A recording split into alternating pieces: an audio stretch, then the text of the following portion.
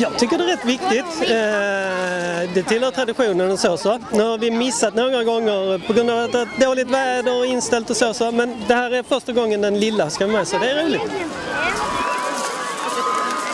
Ja, vi är väldigt glada för barnen har ju väntat varje år och så blev det ingenting. Det är så mysigt.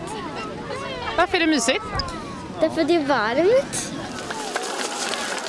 Ja, då blev det då äntligen majbål efter några år med dåligt väder och torka. Men det finns ändå något som alltid kommer väga högre än en brasa på valborg. Vädret idag har ju varit underbart så eh, det piffar väl till det lite extra. Ja, för det är äntligen en solig dag också. Och det är perfekt plats här vid vattnet att ha brasan.